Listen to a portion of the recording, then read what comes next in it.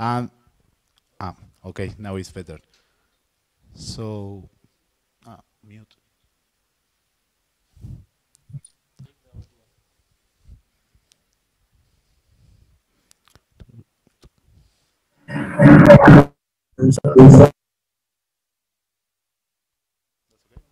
Okay, so we will starting. Um, we will have a, a, conversation here about data protection in messaging apps. Uh, it's a specific topic uh, and a hot topic because we all around the world use messaging apps every day. Um, together with me, we have Joao Moreno Falcao from Brazil. He is working as a pen tester, a cybersecurity analyst in IntelliWay, a private company. We have Joshua Ashashi here, uh, that is from the Youth Sustainability, Youth Alliance for Sustainability. Um, I am Nicolas Fiumarelli, uh, the LAC uh, board of the Youth Coalition on Internet Governance. Here we have also our online moderator, Osei Manu Kagyah from the Ghana Youth IGF, and our other panelist, Savio, that is from the Federal Institute of Rio Grande do Norte state. We have a mix of technical and lawyers here, so we have a very good discussion. Um, well, I will read a, a, very short description of the session, and then we'll start with the speakers. So during the last decade, the world had a connectivity boost, and one of the main impacted groups were the young individuals. For the first time in the history, we have a massive amount of children and teenagers exchanging messages across borders through the internet. The aim of this session is to have a youth-to-youth -youth conversation about the main policy issues of these nowadays current chat messaging platforms used by the majority of people, but specifically teenagers. For example, TikTok, WhatsApp, Instagram, Telegram, among others. So we will start the session with a series of questions for the panelists referring to this implication of the messaging apps uh, usage in different contexts, uh, such as the impact on the privacy related to the infrastructure of these messaging, uh, messaging app systems, and also we will address on how to ensure that the application of the Declaration of the Rights of the Child uh, impact. Um, then uh, at the end, we'll, we'll have a, a, discussion about law enforcement and other public policies, but also technical things. So we will address cryptography, encryption, and a lot of things um, in, in this uh, conversation. Um, well, so just to start, uh, ah, yes. Uh, I am presenting here Jose. Uh, he will be our online moderator, and we'll have some words uh, for you right now. Thank you, Nicolas. Thank you, everyone. My name is Osei Manu Kagyah from Ghana, and I'll be online moderator. Those joining online, good morning, good afternoon, good evening, wherever you are joining us from. As Nicolas already noted, this is going to be a highly interactive session. It's going to be a debate. It's not going to be a one-way talk. We all should be get involved. If you have a question, comment, you just raise your hand, in, or you leave a comment in the chat session. And we hope for a fruitful conversation. It's such a raging topic, and we hope to advance this conversation. Thank you, everyone. Thank you, Jose. So the first question to the panelists is what are the main different ways or architectures that the applications deals with the content of chats uh, or what are the current challenges that we need to face? So maybe we can start with Savio.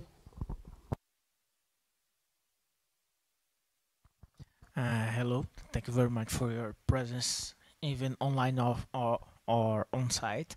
Uh, well, uh, in the point of uh, uh, starting from the point of the two more more common uh, messaging apps that are the WhatsApp and and the Telegram applications, we have basically two manners to to communicate with our friends, our colleagues, which are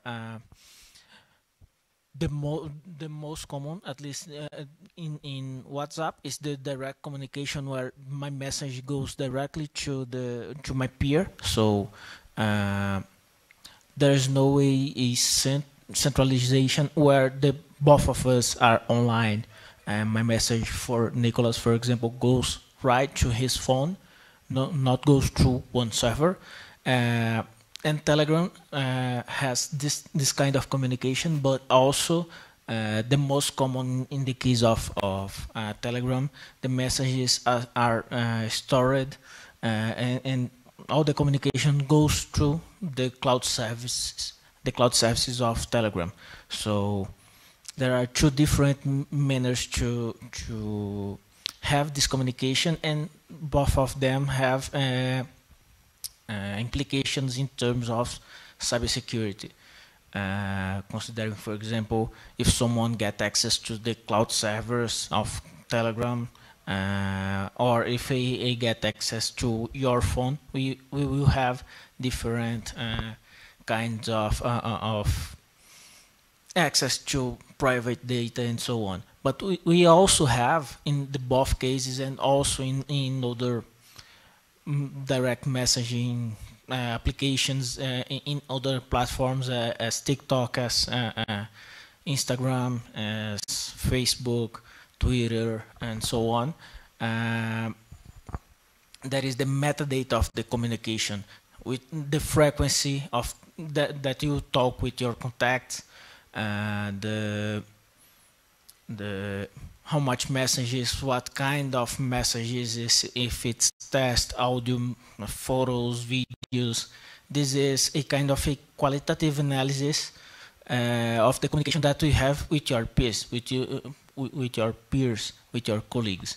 So we can, in this way, understand how do you interact with your friends, and we have information about uh, who are your friends and how do you communicate with them, we can also infer things about you. So this is also important, not only the content of the messages, but also the qualitative analysis of this metadata of the of this communication. I think that's it for now. Thank you, Savio. Very interesting. Maybe Joao, you can address and explain for the audience maybe that don't know uh, about encryption on private keys, so uh, and about the cybersecurity issues that uh, continue with Savio's comments.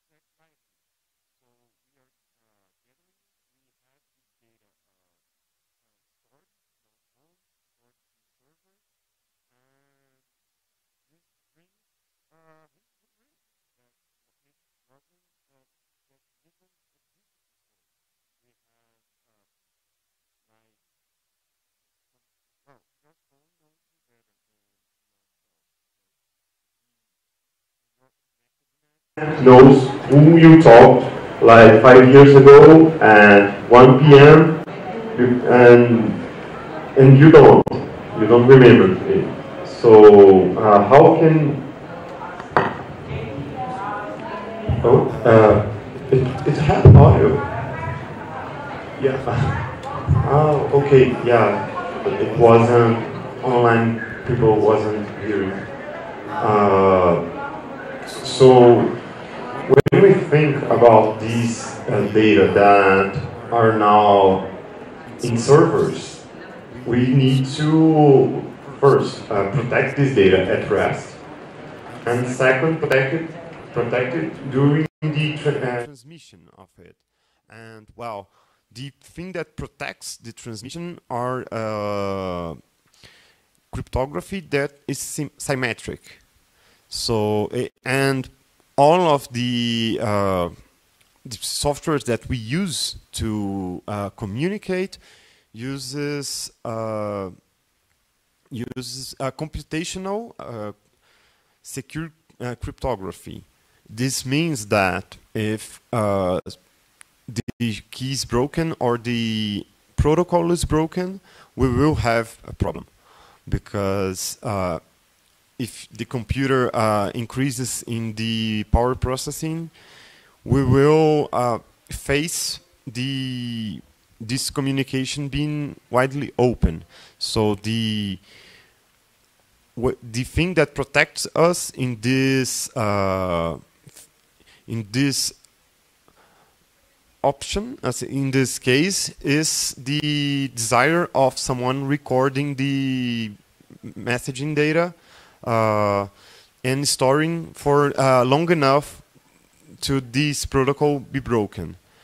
And another thing too is uh, uh on cybersecurity threats because well if someone uh, steals your phone or forces you to open it uh, in a matter of minutes they will have access to all of your information and can download it and can uh, can have this uh, access indefinitely so we are with uh, like putting all of our information in, protected by one door and if this door is open, it's over because this information can be uh, copied and you will not have uh, control of that.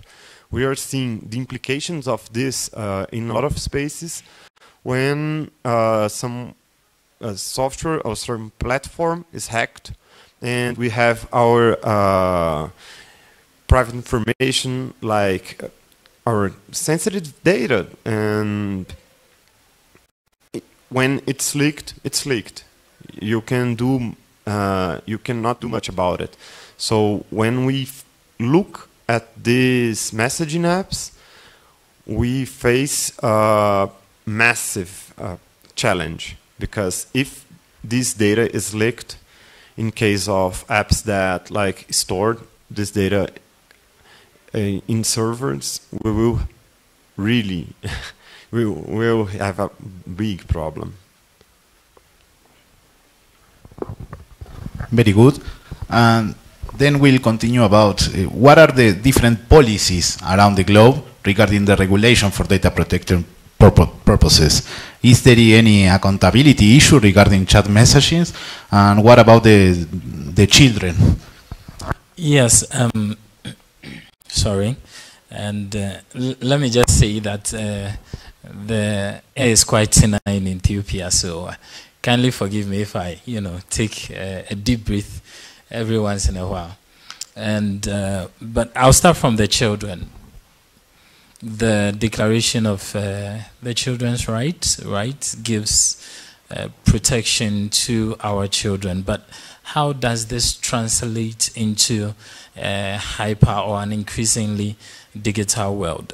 let's take a look at these scenarios. Today, we have uh, children at homes who uh, prefer to talk to each other on social media, on instant messaging apps rather than face to face. So, the very definition of communication as we had in the past is being redefined by technology. And that gives us a, lot of leverage, right? So, whilst we are getting into new heights and it's exciting, the are serious challenges also in there uh, where someone can just triangulate you by the nearest uh, cell tower and then uh, using the messages that you post.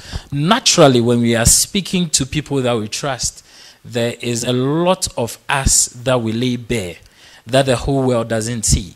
And that is what gives us that danger. The fact that we are now secure in these instant messaging apps that once that door is open, it is laid bare. And so, for example, like I said, um, various global policies, and that leads to various country specific policies around the world. For, for example, in Ghana, 2012 um, passed the uh, uh, Data Protection Act that is supposed to guide um, the collection, uh, distribution, and uh, usage of data and basically follows that kind of international protocol. Of course, you have the Global Digital Compact also that is meant to pave way digital rights, um, data protection laws, and of course, they are calling for submission. You can go to the UN website, um, uh, UN Digital Compact, to uh, make your submissions there. So, all these are ways in which we can engage and ensure that our right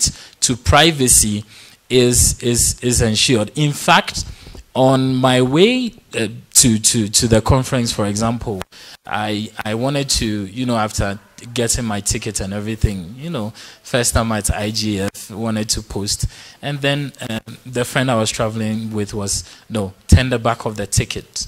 Because apparently it happened to someone, the person posted the ticket online, and by the time the, she got to, to, to, to checking, her flight had been cancelled.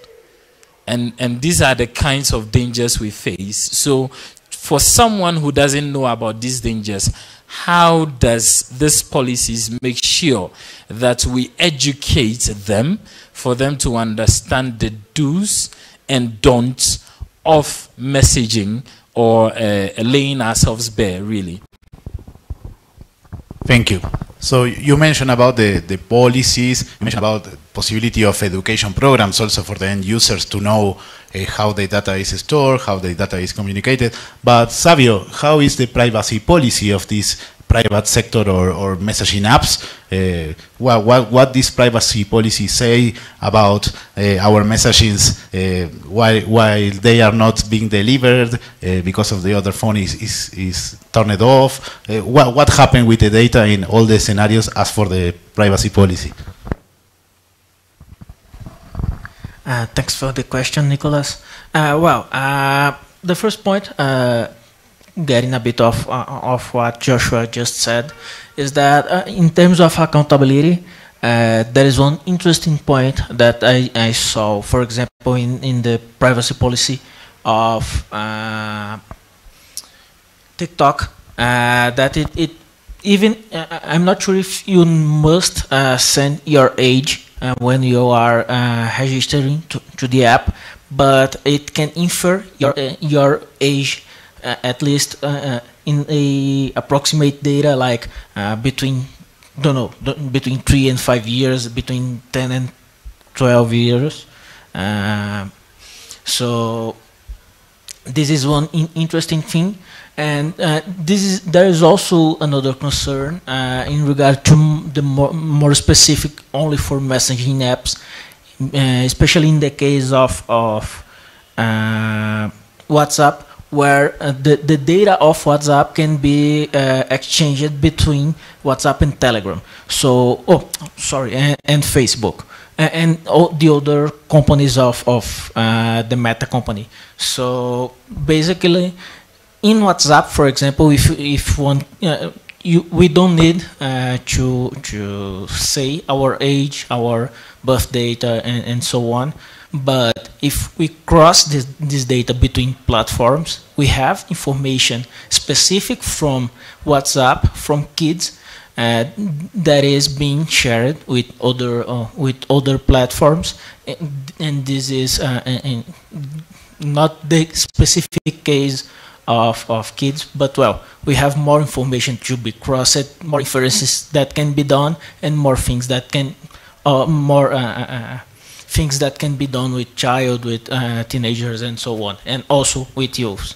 So maybe this uh, this is one point that we need more uh, transparency on how this data is being crossed, how what kind of information information is being used between the platforms, uh, between Facebook and and WhatsApp, for example. Uh, and well, I, in this case, uh, I don't see any problem uh, for for Telegram, for example, in case of the the the aging, uh, youth, uh, uh, youth, child, teenagers.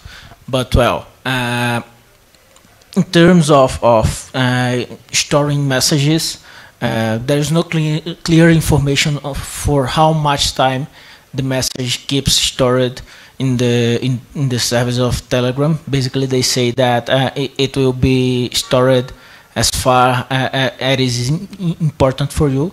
So we can delete it, but uh, there's there is no auto deletion. For example, uh, it's not auto deleted. At least the text messages, but the media is sometimes deleted. Excuse me.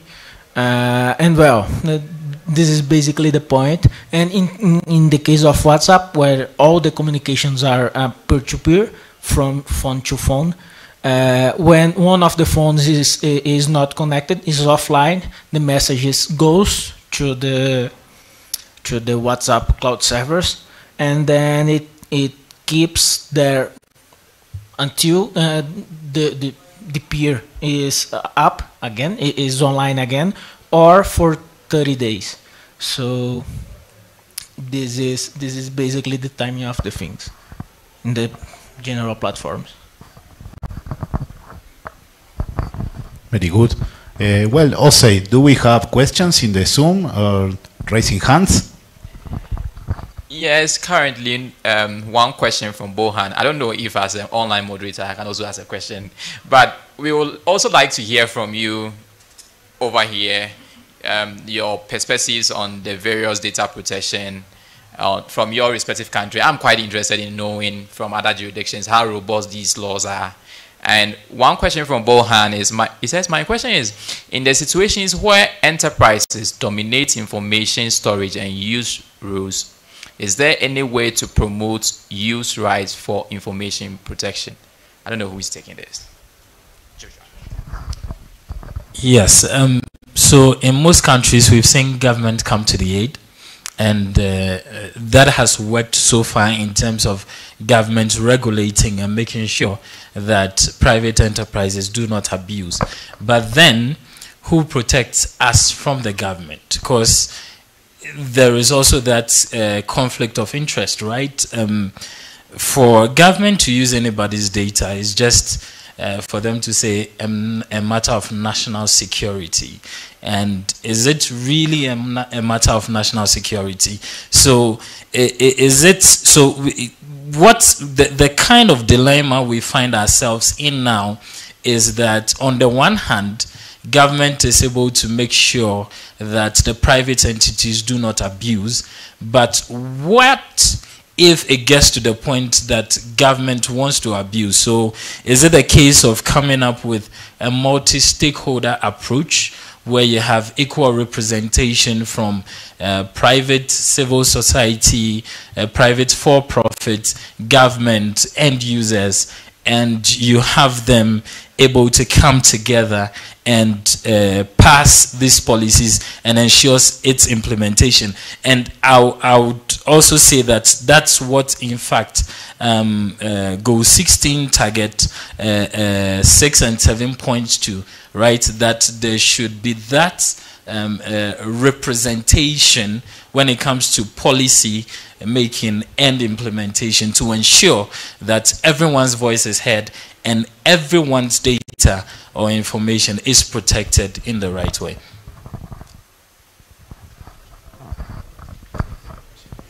Yes, going to a uh, room question.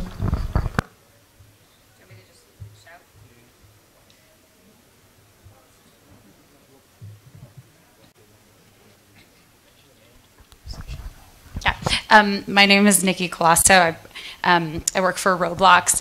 Um, I have a question about um, the, the, panel is about sort of data protection for for youth. No one has mentioned age verification. Sort of at a baseline, who do we know? Who do we know is a youth? How do we even do age verification? Because um, to me, it seems like at a base level, most of the companies say that you have to be a certain age. Sometimes it's 13, which is arbitrary. I think that's somewhat US centered. And in the rest of the world, it, it varies, and I think it is more broadly seen as 18. Um, but I think there's been a move from seeing as from companies being the ones you know that, that should be doing verifying to now more thoughts on the side of the device and the operating systems being the ones that could potentially be a stronger um, player in the age verification space because I think, you know, if we are reliant on um, national forms of identity, for example, in the US, if we have to use um, driver's license or passport, we leave behind people who are undocumented or others who then don't get access to services. So I'm interested in sort of at a baseline, we start the conversation, but we don't really talk about who is getting online and how are we even verifying who these kids are. And then on the data protection side, I think there in the global north, there is a broader conversation about um, best interests of the child. So we've seen in the in the UK, the age appropriate design code. We have the DSA coming in Europe. I think we've seen that picked up. Um, the U.S. is sort of a mess, but we see that a little bit in the U.S. I'll speak for myself. Um, we see that a little bit in the U.S., definitely in Australia. But how will we see those conversations, or how do you see those conversations evolving in the global South, or are they appropriate in the global South? How could we um, think about that in the global south? Because I, I, do think they are in many ways the right conversations um, in terms of best interests of the child and really holding companies accountable for those data protection schemas um, and i'm interested in how they propagate further south thank you very much uh, yeah. Uh, hello uh, thank you for your comments. Uh, it's very it was very enriching.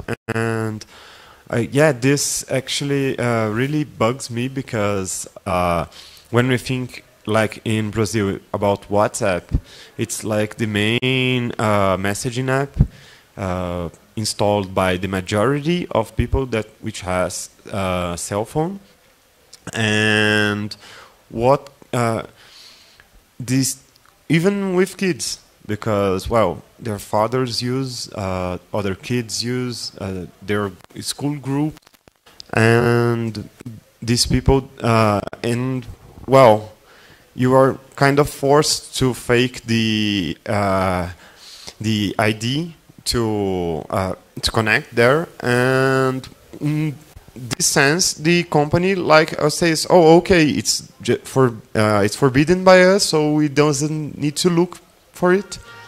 And this is a huge problem. Uh, and uh, there's uh, in my university there's a group which uh, studies uh, the communication flux inside WhatsApp, and they are like uh, they are certain that this is very harmful. This dynamics very harmful for youth because uh, it's totally unattended, it's instant, you can hurt really fast, and no one will notice. If when we talk about the encryption end to end, in this sense, it's like harmful to them, and we actually I don't know how to deal with this because uh, in the same time, we know that these kids uh, need to be here because it's like the place that everybody is.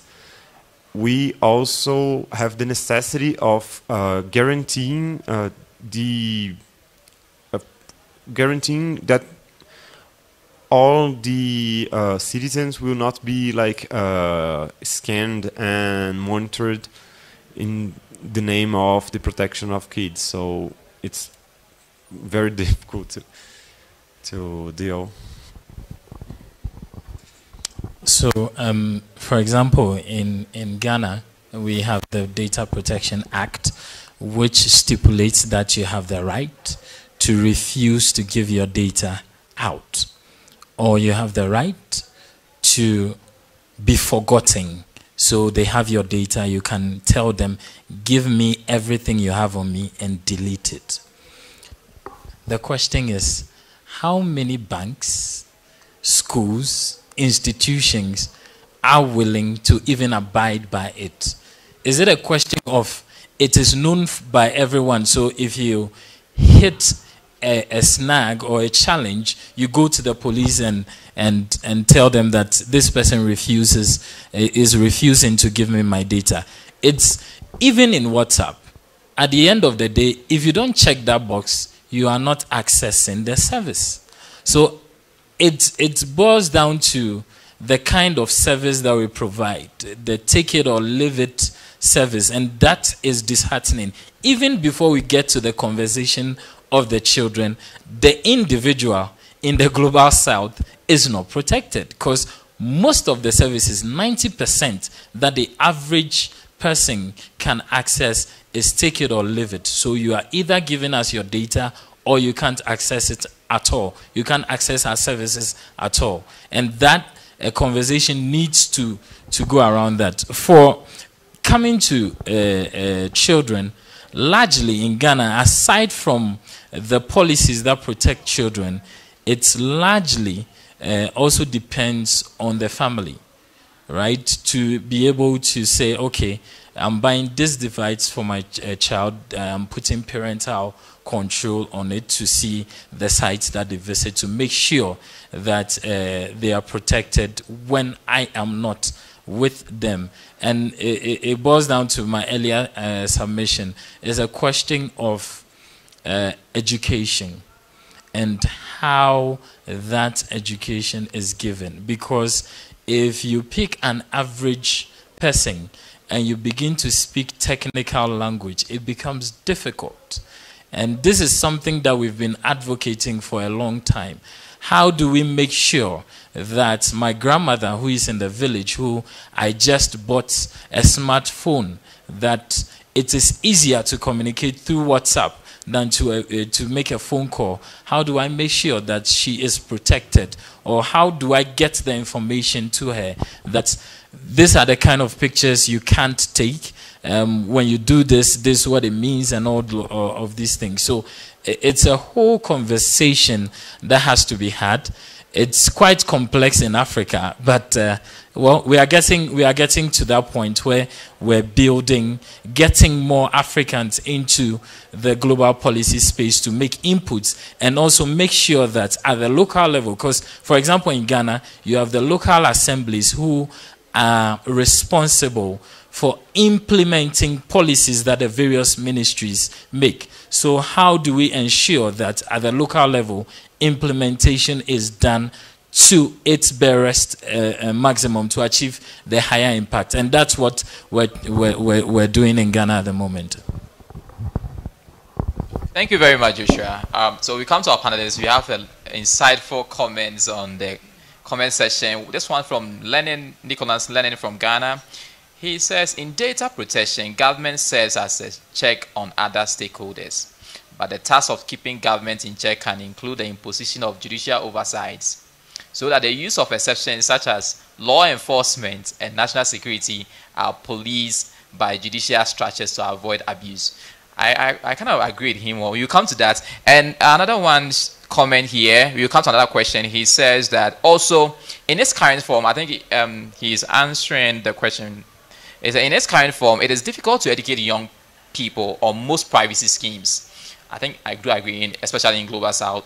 We may have to redesign these privacy terms into much similar forms, perhaps using visualization and other means familiar to young people if we really want them to know about its impact. Couldn't agree more. So uh, I'll then pick a question from um, this one from Sarata Omane from also from Ghana. He says, in a number of apps, you are required to submit some data before you can install the apps.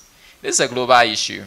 How can we change the narrative such that if we don't agree to the policy, you can limit you can limit the data you can send through and be able to install the app and I'll pick the last round of questions, then I'll come to it. Our question, this one is from Bangladesh Remote Hub. They are watching live, and um, the question is, our question is that what is the impact on privacy related to the infrastructure of messaging app systems, and also how to ensure the application of the Declaration of the Rights of the Child.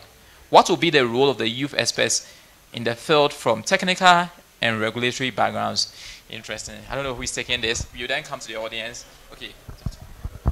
Uh, Thank you for the question, and I will first address the question from. Let me. I think that for from Boha, but basically the the the question about how to do not uh, uh, allow to collect my data and keep using the, the, the apps. So this is technically a problem because, uh, well, we, we, if we have a centralized system, it costs. So in somehow, and, and I'm not exactly de defending this this this part of, of the exploration of the information, but the the companies that are hosting this kind of uh, of systems has to pay the costs that is having one team to keep the app running to the the servers the cloud services and so on. So this is this must be paid somehow. So in a to have a kind of a definitive solution for this uh, would be something like the web 3.0 uh, which is a decentralized infrastructure where we can maybe somehow uh, have a low cost or zero cost direct cost for one centralized institution to host this kind of app. And also the other problem is to make this kind of, of platform popular instead of this at least in my point of view it's hard to have to don't have any problem in, in this point of view because if this the, it is from a private company, it may have privacy issues. If it, it it's uh, funded by founded by some government, it may have some spying issue, uh, privacy issue, and so on. And well, uh, also uh, co coming from from the civil society uh, or something like that, it's still hard to to have uh, funding to to keep the things running. So I think that uh, to have a kind of definitive solution for, for this issue is in a future, long future, in a long run, basically, we can have decentralized message apps. Thank you very much. Uh, insightful comments and um, in debates going on there in the chat, um, data extractivism and all that. We'll come to that. So we now go to the audience and pick some few questions um, I think someone raised a hand. Okay, I'm coming over. And we'd love to hear more from, especially the Global South and also more about that. Ethan, will have a question? Hello, everyone. I'm Leonan. I'm from Brazil, and uh, I'm a fellow of Brazilian Youth Program. And looking at the youth civil society point of view, what is the paper of programs like IGF to increase the privacy policy knowledge around the world? And how this information can out from here and arrives from at poor communities, for example? Let's take one part of question here. Okay. Your name? Uh, my name is Thais. I talk here representing uh, Alana Institute, a non-profit Brazilian civil society organization whose mission is to honor the children. Part of our work is related to the digital rights of children and adolescents and the commercial exploitation of their vulnerabilities. Well, I, I would like to understand um, and question of you about and how to balance encryption and protection uh, children online. And there is a place in the middle where we can guarantee data protection and privacy and at the same time combat abuse, especially when it comes to apps that for, uh, target children. And talking, uh, take advantage of the, the time, I would like to convite everyone here to a panel that my organization is um, it's endorsing at Friday at uh, 11 and 15. It's, it's that. Thank you very much.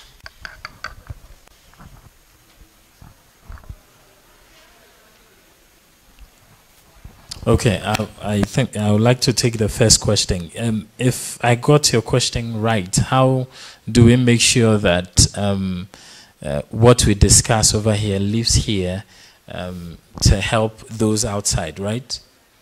Basically, if I got your question right. Okay, so um, one one of the things I, I think we need to do more is to be deliberate about it, and being deliberate about it means making sure that as civil society, we put it in our annual action plan, right? So um, I was just uh, yesterday speaking to the president of GIGFA, that uh, e-governance and internet governance foundation for Africa. They convened the Ghana School on Internet Governance, of which I was a fellow in 2021, on uh, how to make sure, because my organization operates in the Volta region of Ghana, uh, which is one of the 16 regions, and we're looking at how to bring a form of the internet governance to the Volta region, bring it closer to the people. Because most of the time, you, you have many of us traveling to the nation's capital to be part of programs like this.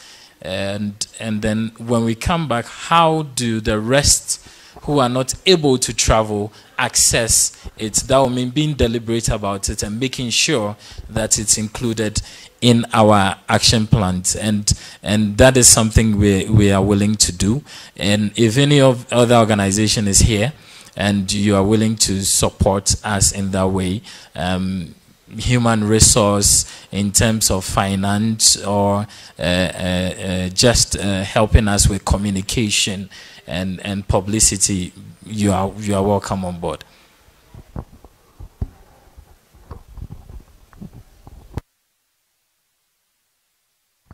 Uh, I would like to address the second question about the, the protection of, of child and, uh, and, teenagers. So I think that in, in, this point we have, I'm not, uh, first of all, I'm not a, uh, I do not have a legal background, but just coming, uh, saying something that comes through my, through my mind, is that we have regulation in, in other kinds of media like TV and radio that limits the kind of thing that that goes through uh, through the, the, the childs and, and the teenagers. Uh, and we we I really think that we, we should have something in, in this sense also for for the social media platforms uh, in terms of collection of data.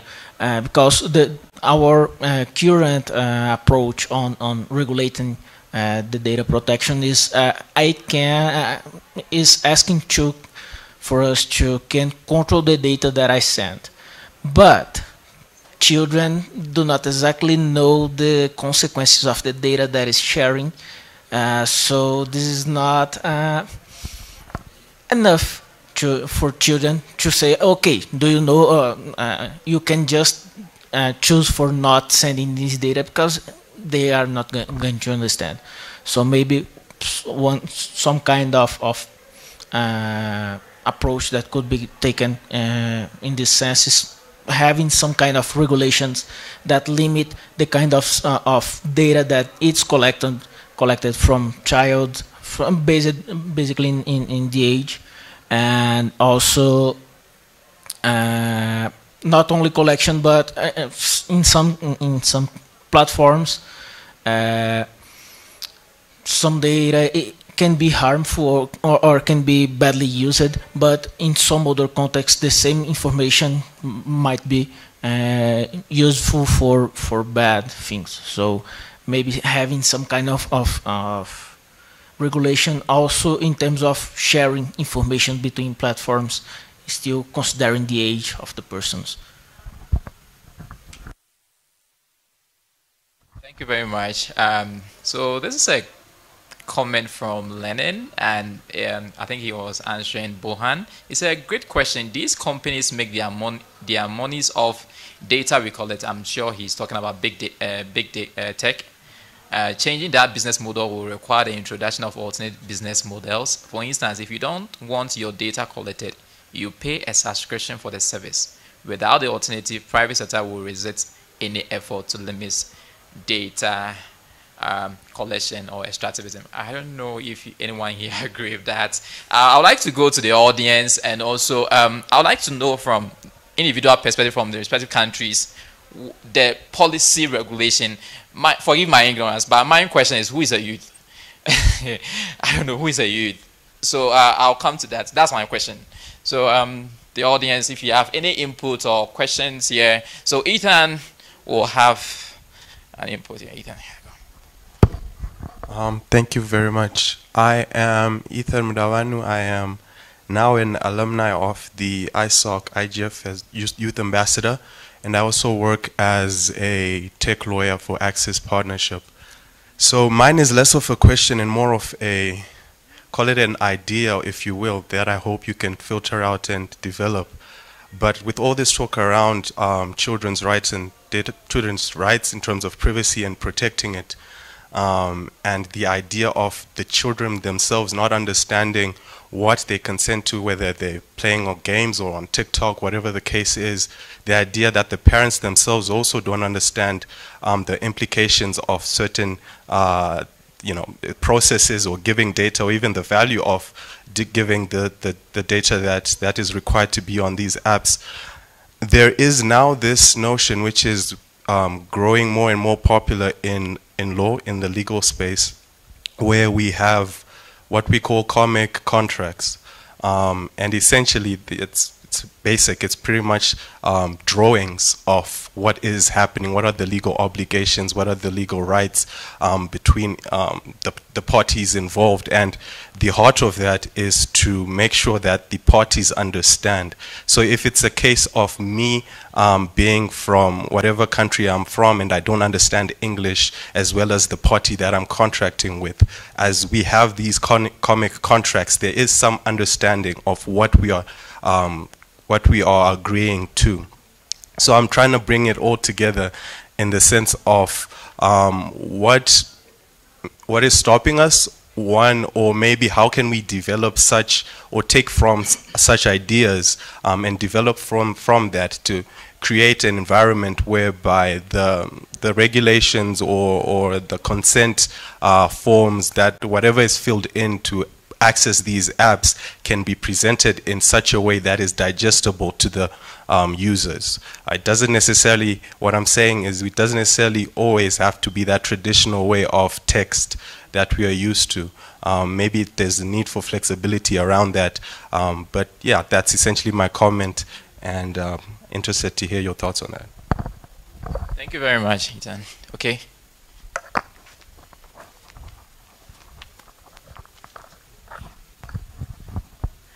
Hello, thank you for this panel. I'm Julia. I'm here with the youth delegation from Brazil, and I'm also a master's student at the London School of Economics. I think I just wanted to add on his comment, um, because I feel like when we're discussing data protection and privacy of children online, um, generally we focus on um, literacy and consent, um, even the age-appropriate design um, from ICO sort of focus on that, on how to make um, information more easily understandable for children. But mm, I have certain concerns that that is um, really effective because, of course, if children are going to be online, they need to have an understanding of what's going on, what are the consequences to a certain extent, understanding um, how they can, um, what are the consequences of using their data and so on. Um, but I feel like that's unfair to leave that burden to the children or even their parents because um, there is a lot of um, it's an, an, unbalanced relationship. So how can we go um, to another direction? I don't have an answer to this question. It's a, it's a question that uh, keeps coming back to me all the time. But how can we have a different approach that does not focus on consent or even on literacy as a way of protecting children um, and actually have a more effective um, effective access to um, more healthy relationship with social media um, from children and from youth. Insightful. Thank you very much.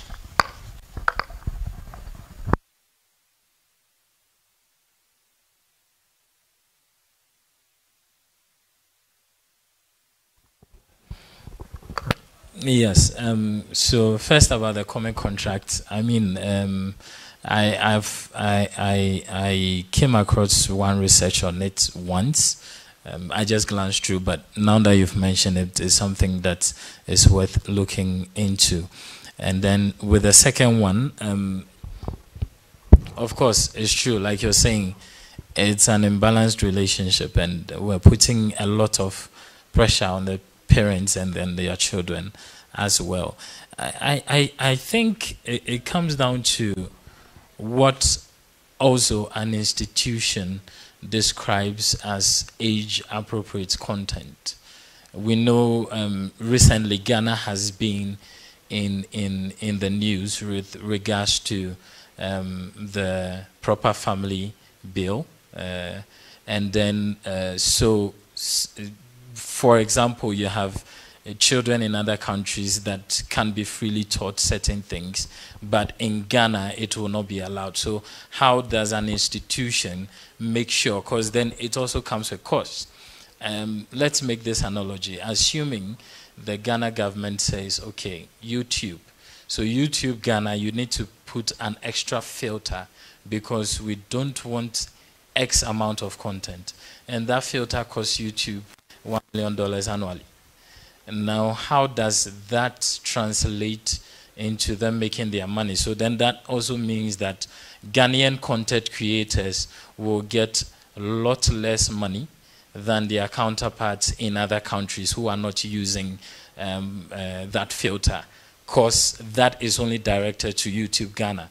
So it's, it's, it's a conversation that has to be started and a lot of things has to, like you were saying, it's very complex. We need to look at a lot of dimensions. And someone rightly said in, in, in, the, uh, uh, in the comment section in the online chat that um, if it's about minimizing um, uh, profits for the institutions or for the private companies, then they are definitely not going to do it. So we need to find a way uh, where they generate their money and still be able to make those age appropriate decisions country specific, culture specific. Because, for example, another thing that, uh, and please um, don't worry if it's offensive to you, but in Ghana, uh, people eat cats. yes, it's a delicacy. But in other places, I mean, we, we regard them as pets. They are pets, yes. But we, we still eat them. It's a delicacy, right? But in other places, it's just strictly pets. So what if I'm killing my cat, and then I post, oh, I'm making cat stew on Facebook, and Facebook flags it as age, uh, um, um, uh, uh, uh, very insensitive content. But in Ghana, it is not insensitive, right? And something that Facebook would allow, it becomes sensitive in Ghana. So it's, it's very complex. And as the discussion moves forward, we need to get a lot more people in to see where we can tolerate ourselves up to where we put their boundaries and then okay when it gets beyond this point it becomes a country specific issues. And then country specific laws are made to address that. But when it goes beyond point x that becomes a global issues a, a global issue. And that the global law laws can also deal with that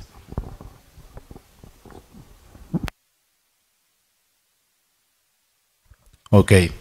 Um, just to follow on, on the messaging apps part, uh, without going so specifically in content regulation, for example, uh, we would like to address about the exchanging of the messaging apps. And uh, one question for, for the panelists is, are the quantum computing achievements a threat for the messaging apps? We could start with Joao. Um, uh, well, the quantum computing uh, paradigm will, uh, when applied to to uh, like the modern computing, uh, we see that it will uh, totally affect because well, the most of the uh, algorithm programs, the most cryptography algorithms that we used in our messaging apps are based in protocols that rely on certain uh, assumptions related to how computes work nowadays and applying uh, like the computing uh, the quantum computing paradigm what we will see is uh, is that most of these uh, protocols are broken because the, when we use quantum computers, this will be uh, much simpler to execute, much simpler to break. And the and well, uh, cryptography tries to be like uh, at least 30 years ahead. And when we see like a break in in the uh, computational power or to execute certain uh, certain actions, certain uh, steps, we we see that it will really affect what we have uh, now and what we collected, because all this information that was produced uh, in the past will be broken easily in the future. Uh, let, let me aggregate a little of that because I am moderator, but I will put my point of view on this. Uh, because there is an issue that if you have a man in the middle in your home or in your neighborhood that is um, listening, uh, like fishing, uh, listening to the to the communications without uh, within your mobile phone and your router, for example, if you share the Wi-Fi connection with, with your friend, they will have access to the encrypted messages that are being transmitted uh, to your router, so then to upload it, for example. But if you collect, if this man in the middle or, or a thief collect the data that nowadays you are transmitting, eh, then in five years when the quantum computers are globally available and publicly available in clouds, for example, uh, they can, they can, they will, they will decrypt all your data. So all the data that we are uh, transmitting nowadays that is sensitive data like credit cards with your family, the password of Netflix, uh, all, all, the things you are using right now, uh, if there is a man in the middle at the ISP level at your home or in your neighborhood, in five years, everyone, this information will be public for everyone. So I, I think this is a, a, very interesting issue that uh, is not easy to address. Uh, maybe a, a, solution that, that I think could be to do very quantum resistant algorithms in, in data messaging apps uh, that are not uh, right away. Uh, right now, we know that some of, of the algorithms that, that this application uses are not public enough, but from, from some researchers that, that I have heard and, and read, they say that, well, there are no quantum resistance. So we are in a, in a very, very uh, specific uh, problem right now because, as I said, all our data that we think is private, we, we think is sensitive, we share, uh, I don't know, private things with our uh, colleagues or, or friends, these things will be public someday if, if it's someone nowadays collecting those. Because nowadays, for example, a, a common algorithm for, for, encryption that is classical encryption, uh, a classical computer will spend years in decrypting one message. But when we have quantum computers, this will be a, a, a matter of seconds to decrypt a full video. So I think it's very concerning. Uh, well, what do you think, Savio, about these quantum computing issues? I'm a bit pessimistic about that, but not in terms of the encryption, but about uh, the the quantum computers. How popular are they getting? But well, this is still an issue, and well, uh, still in terms of of cyber uh, of uh, message apps, I think that this is the smaller problems uh, in terms of decrypting data with classical cryptography al algorithms all the other uh, most of the internet protocols rely on the classical computing uh, algorithms. So we, we, we will need to update our HTTPS, uh, DNSSEC, RPKI, all the protocols where, uh, we, in which we, we are relying on today. But this is gonna take a big time. Uh, let's let's see the example of IPv6. that, for example, we have 20 years to change all that. But well, and going out of this uh, chaotic scenario, uh, the point is that uh, we still have just a just a few uh, quantum resistant uh, cryptography algorithms, uh, and they are still not being wi widely used. From the in the specific terms of the messaging apps, I don't I, I don't think it's hard to in some time uh, change the the adapt the new quantum resistant uh, quantum resistant algorithms uh, to uh, adapt them in, in the uh, crypto cryptographic schemes. Okay, I think it's working. So I think it's not gonna take a long time as we have uh, quantum resistant algorithms that we can be confident that they are going to work well. Uh, to do not happen things that, for example, we had uh, with uh, some other hashing or or or, or crypt common crypto crypt cryptography al algorithms that can be e easily breakable with some assumptions or something else. So this is always the battle of of uh, cryptography. So we are still getting uh, taking some time to have also uh, quantum resistant uh, cryptography algorithms where we can trust and but when we, we have them uh, I think that it's it's gonna be easy to change mostly in the, the, the messaging apps but also the protocols can be a, a threat uh, for other problems not exactly for privacy but for other situations Yes, and you remember earlier I said um, the whole process of our communication is changing. And of course, in, in every system, if there's a new system coming, then there is the need for the different players of the old system to adapt. And sometimes in adapting, you need to identify even new players that were formerly not part of the old system and see if you can together with them create the, the new system.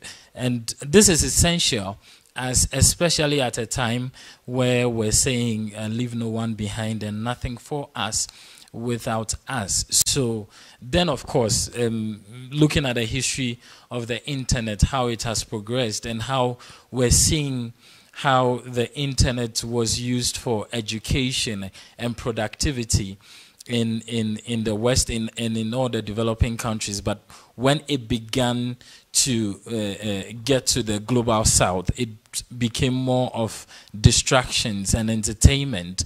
And today in Ghana, more than 95% of Ghanaians who are hooked on the internet spend an average of five hours on social media right? And and this is something that uh, we're trying to change because just two percent of Ghanaians on the internet use it for productivity, and it is something that we are trying to change. So if uh, quantum computing is now also invariably coming to change how um, uh, data is uh, stored and how data is assessed, then obviously there is the need to create that kind of inclusive ecosystem that has to do with policy regulation and Im implementation and enforcement to make sure that there is no country that is left behind. We do not want another situation where uh, uh, a developed country has all the resources to fight these things in the age of quantum computers and have to sell it at an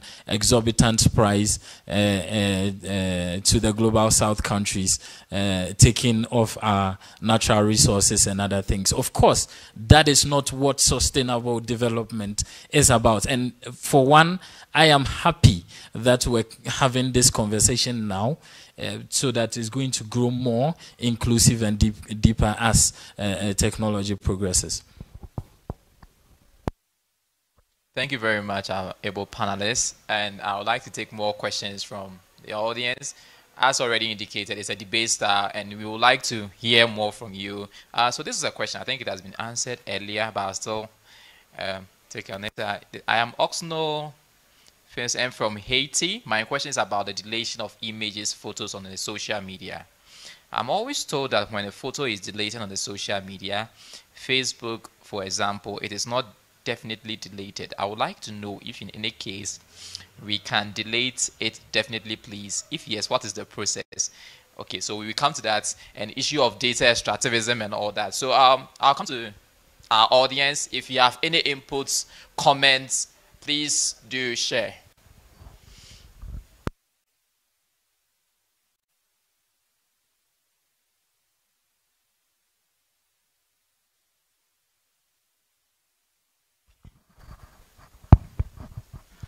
I am Dilnasa Walacho from here, Ethiopia.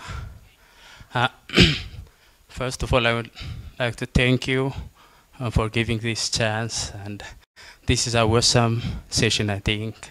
Uh, I am a vulnerability researcher, and uh, I want to ask the Ghanaian panelist uh, uh, the, if he forward a filtering mechanism. Uh, they have filtering mechanism for each group, and uh, especially uh, the use for YouTube and other uh, social media. Yeah, if he forward and uh, then I want to talk about quantum also.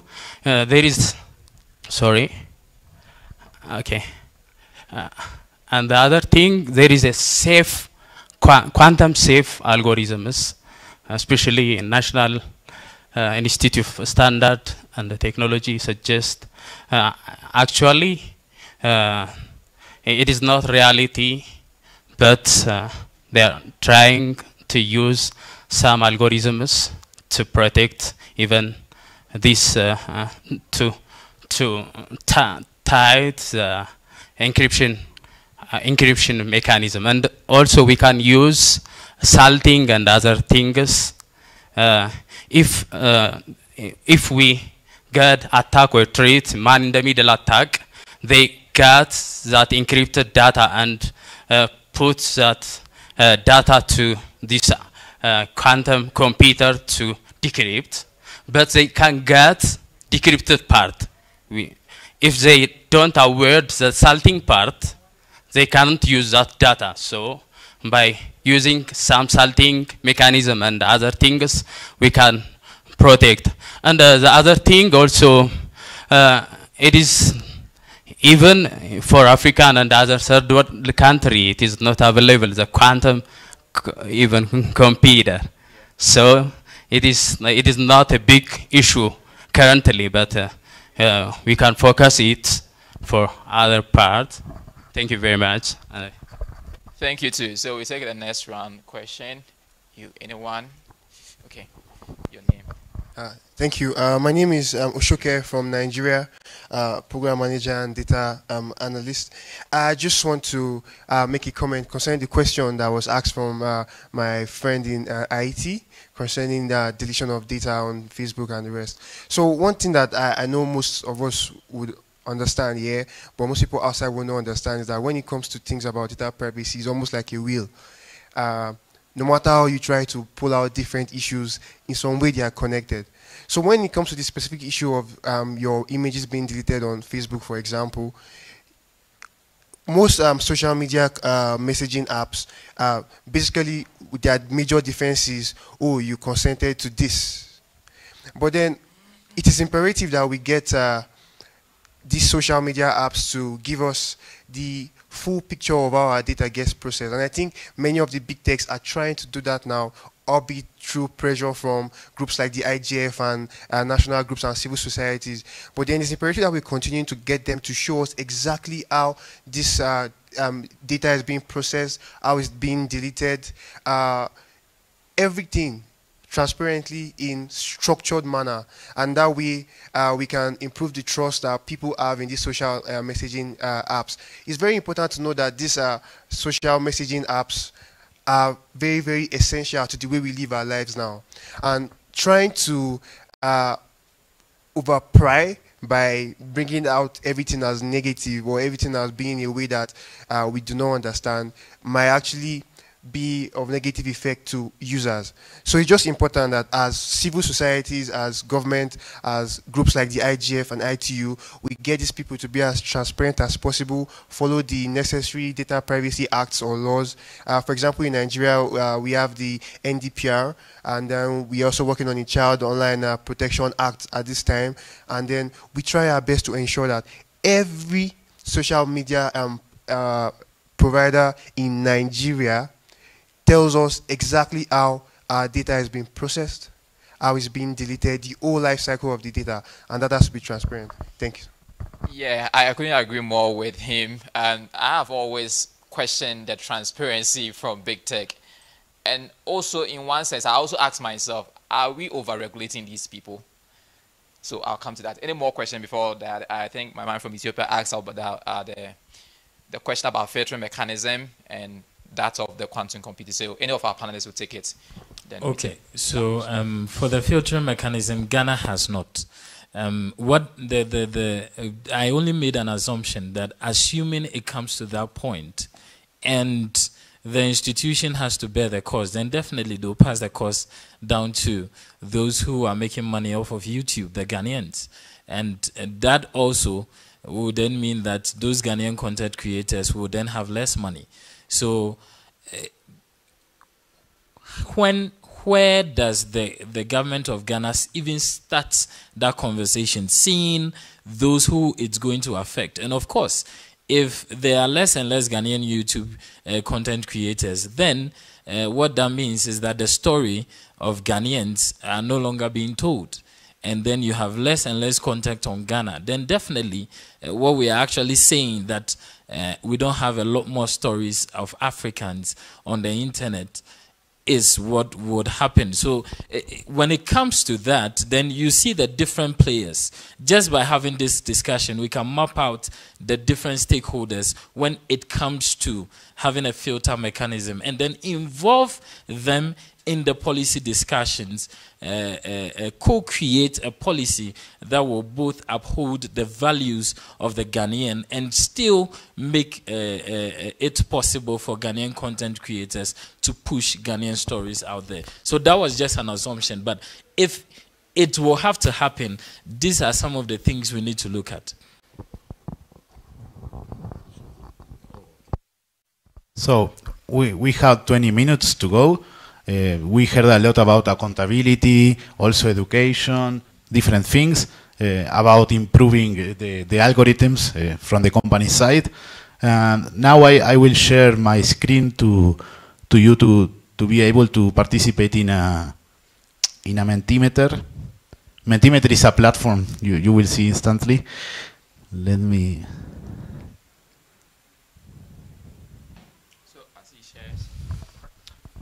as he shares the Mentimeter form, um, if anyone has a question or comment to anything, okay, you have to say something. Okay.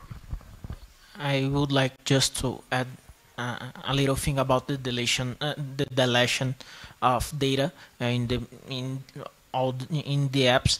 So basically, the the current uh, data protection laws uh, require that if the user asked to delete the uh, its data it should be deleted. The problem is that how can i say if that the that data is was really deleted or not? So this is one point on, on accountability but more specifically in the case of whatsapp and and telegram uh, in whatsapp your media keeps uh, stored in the server encrypted but uh, stored in the server for 30 days.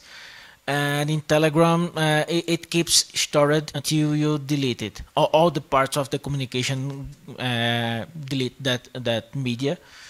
Um, except uh, in the case of secret uh, chats where one of the parts of the of the chat in, in case of telegram if someone de delete the, the same data will will be deleted in the other side. If and if i'm not uh, with a bad, memory. In the case of secret chat, no, uh, uh, it, the data of secret chats are stored in the cloud servers, but this the secret key, uh, key of the uh, of decryption of that media it's only to the parts of, of the communication in the case of secret chat.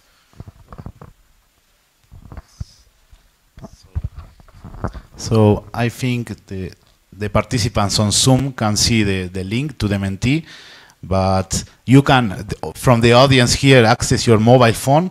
You can go to menti.com and put the code. Ah, okay, now it's in the screen. Ah, but we have the, the trans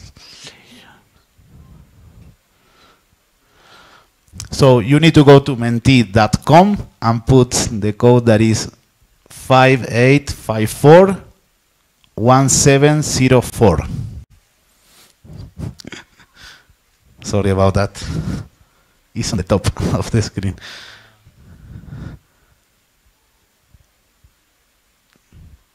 So there is a question for, for all the audience, for the online and the off, off uh, and the on-site, about what are the current challenges uh, to face regarding secure exchange of, of the messages.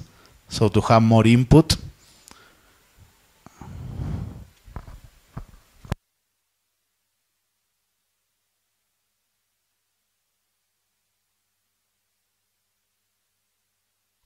Okay, so as the moderator said, uh, we want to know the current challenges you are facing with regard to uh, secure exchanges of messages from your region. So you just go to www.menti.com, Menti spelled M-E-N-T-I.com, and use the code 58541704. I'll repeat again, www.menti.com, Menti is spelled M-E-N-T-I.com, and use the code 5854 1704. And we have the, some of the questions here. Uh, what are the current challenges to face regarding to secure exchange of messages? Is it transparency of messaging? Uh, transparency of messaging provides we need to have strong privacy policy and terms and conditions.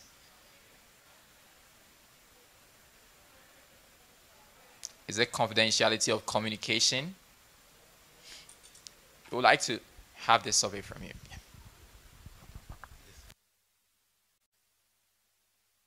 Just want to say that the original idea is to maintain a debate while, while the messages are coming, so we can have this part more uh, collaborative.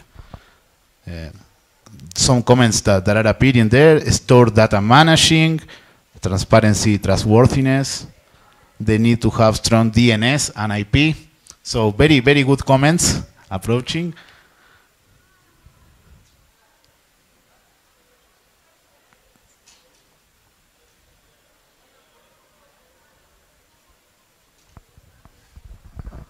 And if, if one of the panelists want to comment on, on some of the things that are showing up in, in the, in the Mentimeter.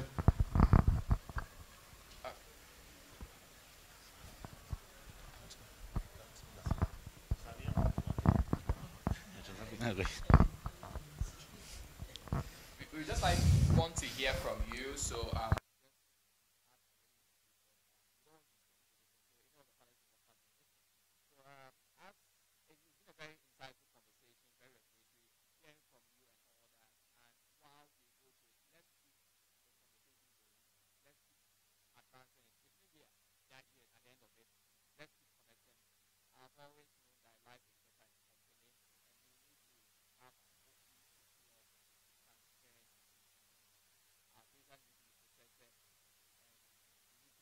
use data safely.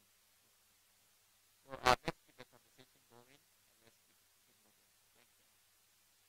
Thank you. Yes, thank you all very much. And remember that, well, this is totally connected to the Global Digital Compact and some of the key points of the roadmap, for example, about trust and security and ensuring digital human rights.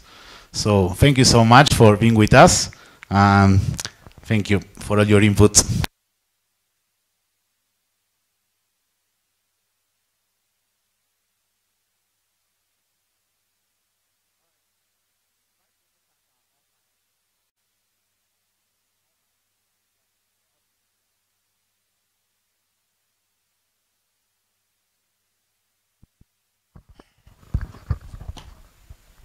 Sorry, I was on the. Uh, I'd like to thank our online audience, and it's been a very insightful conversation. As I already indicated, let's keep the conversation going. And at the IGF, uh, we need to have an open, secured internet. We need to have our data protected and use effectively, use our technology effectively. And thank you, everyone over here. Thank you so much for your time. Have a very pleasant day. Bye.